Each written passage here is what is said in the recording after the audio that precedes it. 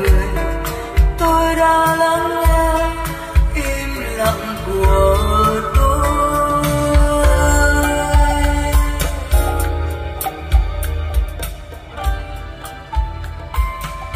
chào mừng các bác đã quay trở lại với kênh youtube của yến thanh bãi 197 lê duẩn phường nguyễn du hà nội. Ở hôm nay thì em sẽ quay test nhanh một cái bộ đờ nông 7.5L mới về trong lô hàng. À, lâu lắm rồi thì mới lại cập bến thêm những cái em hoa hậu giàn chung 7.5L đúng không ạ? À bộ này thì sẽ có 4 thớt cả nhà nhá. Thớt trên cùng là một thớt FM à, Bắt được các đài AM, FM 90 trở xuống Hoặc là mình, mình có thể làm thớt xem đồng hồ đều được nhá. À, Một cái thớt băng cassette này thì nữa mình sẽ được nghe thử băng con này đầu từ còn rất là ngon. Em đã test rất là hoàn hảo rồi. À, Một thớt CD tí nữa mình cũng sẽ được nghe một cái chương trình đĩa CD ở đây. Và âm ly của nó toàn bộ là mặt phay nhôm và kẻ chỉ vàng hai bên rất là đẹp. Âm ly của dòng này thì công suất khoảng 125W Mình có thể chỉnh được lau nớt này, chỉnh được bát chép, cân bằng loa Có thể đánh được hai đôi loa cùng lúc các bác có thể ghép thêm một đôi giống như này hoặc một đôi bút sao nhỏ hơn đều được nhá. Ở cặp loa của 7.5L là SC E727R Loa gỗ thịt rất là nặng và đầm tay. Ở Trọng lượng rơi vào tầm khoảng 6 đến 7 cân trong một chiếc loa này. Và đặc biệt là với 727R thì đây là một cặp loa à, Dù rằng là hai đường tiếng thôi nhưng mà sở hữu đến 3 loa. Bên trong nó có một cái loa bát nó úp ngược với cái loa bên ngoài. Thành ra là mình sở hữu cái âm bát nó rất là khỏe và rất là uy lực Không thua kém gì những cái dòng như là Onkyo 933 hay là Kenwood 7002 cả à, tầm giá của cái em này thì chưa đến 20 triệu. Tuy nhiên thì nó vẫn là một trong những cái mẫu dàn chung uh, đáng chơi uh, trong cái phân khúc này. Và thậm chí là nhiều bác còn thích chất âm của 7.5L hơn cả Kenwood bởi vì chất âm của 7.5 dòng đời nông nói chung nó nghe nhạc vàng chữ tình nó rất là ngọt ngào rất là mềm mại và vẫn giữ được cái độ khỏe độ uy lực của âm bass à, đặc biệt là phần chép của đồ nông thì anh em có thể nghe thấy cái âm chép của nó khá là nhuyễn. Mình chơi được acoustic này nhạc vàng hoặc là trữ tình đều rất là ok nhá. À bây giờ thì em à em sẽ giới thiệu qua cái hình thức bộ này nó còn có cả khiển zin này. Về khá là đầy đủ khiển zin này cái e căng còn đẹp này. Chưa bị uh, xước sát quá là nhiều. À, cặp loa của nó đây anh em nhìn thấy cái phần gỗ thịt rất là đẹp đúng không? Gần như là không có tì vết đâu. Hình thức phải tầm trên 95% rồi nhá. À, còn hôm nay thì em sẽ thử trước tiên là mình sẽ thử một cái chương trình băng cassette của Tuấn Vũ được không ạ?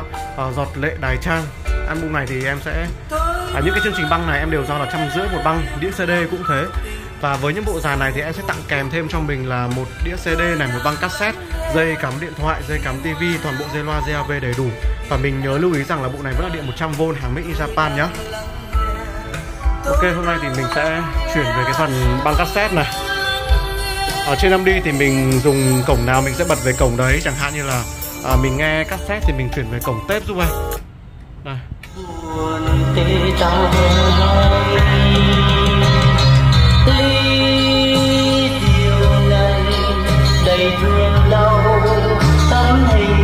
băng vẫn đang chạy rất là ngon lành nhá.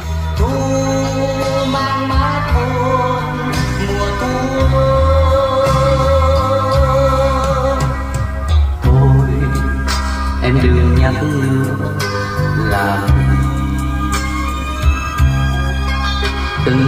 À, công suất của 7.5L rơi vào tầm 100W một loa thì các bác có thể chơi trong những không gian phòng khách này.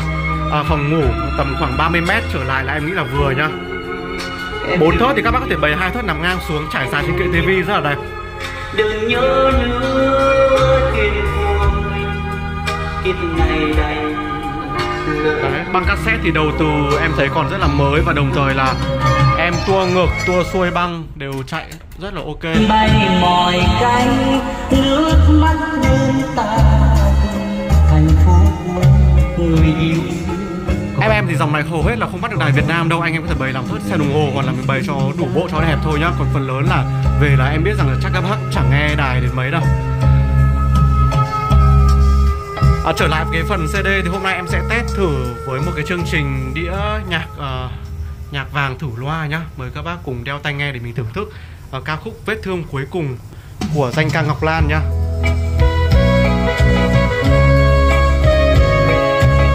Em chuyển về phần CD này. Ok, mời cả nhà cùng đeo tai nghe nhá.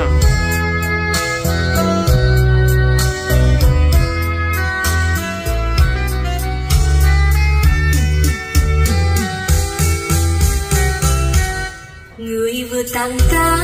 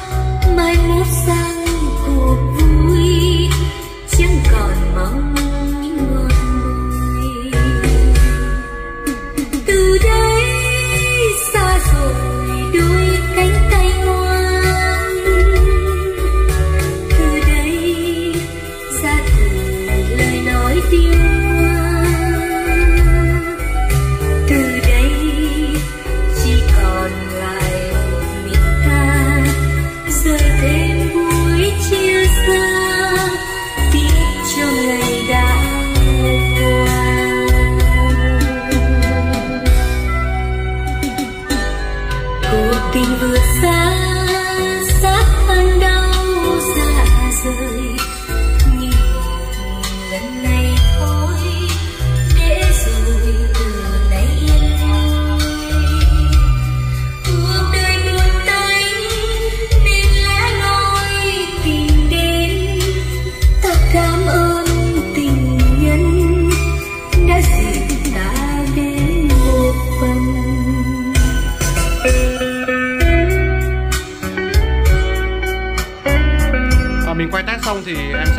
sau máy để các bác xem được một số thông số của nó này, cũng như là độ đẹp và độ mới cả đằng sau máy nhá.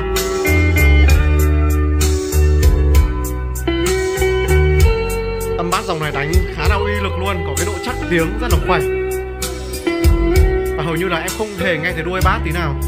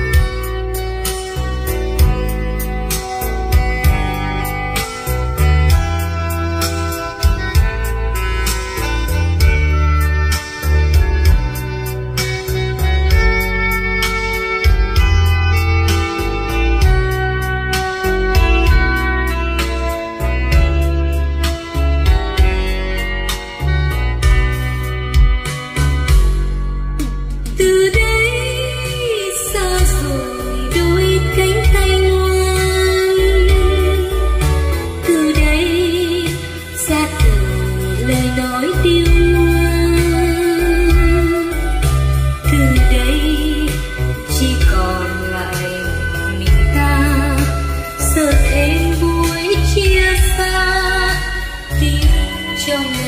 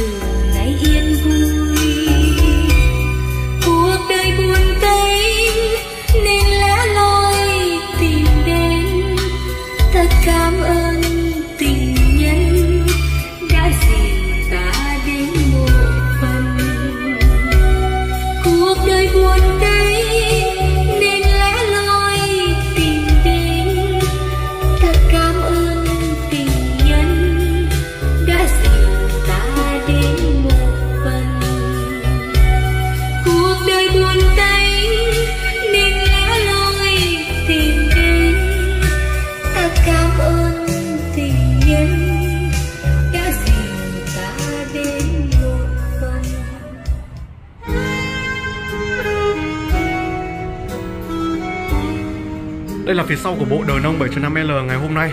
Cắt thớt đằng sau máy và loa thì vẫn còn rất là đẹp và rất là mới cả nhà nhá. À, Cặp loa zin theo dàn đây. Model là đời nông SCE727R Loa gỗ thịt. À, Công suất khoảng 100W một loa trở kháng 6 ohm Và em này sử dụng cái rác BY thì các bác có thể đấu cái cặp loa như này Và mình đấu một hàng trên hoặc hàng dưới thì đều được nhá. Lâu lắm rồi thì em mới lại về thêm được những cái em đời nông 7.5L Trước tiên là đầy đủ 4 thớt này Và cũng như là cái độ đẹp, độ mới nó xuất sắc như này em sẽ quay gần hơn các cái thớt để các bác có thể chiêm ngưỡng được cái độ đẹp của em nó nhá. À, toàn bộ thì vẫn là điện 100V made in Japan. Các bác lưu ý là cắm điện 100 giúp em nhá. Ở trong mức giá thì em sẽ tặng kèm thêm cho mình là một đĩa CD trị giá trăm rưỡi này một băng cassette trăm rưỡi này à, dây cắm điện thoại TV cũng như là toàn bộ các dây AV dây loa theo dàn. Bộ này thì có cả khiển zin nữa cả nhà nhá. Công suất của âm ly 125W này các bác có thể đấu được hai đôi loa cùng lúc. À, mình có thể đấu hàng vế A này hoặc là thêm một cái đôi loa nữa ở vế B đều được. Các cọc AV của máy vẫn được mạ vàng đầy đủ đây. Rất là đẹp và rất là mới. À, ok cảm ơn cả nhà rất là nhiều. Hôm nay thì em đã quay rất là kỹ cái bộ đời nông 7.5L mới về rồi. Bác nào quan tâm hoặc là mình muốn đặt hàng có thể nhắn tin qua Zalo bên em. 0912 906 897 để em tư vấn thêm nhá. Cảm ơn mọi người và hẹn gặp lại bác ở trong những video tiếp theo.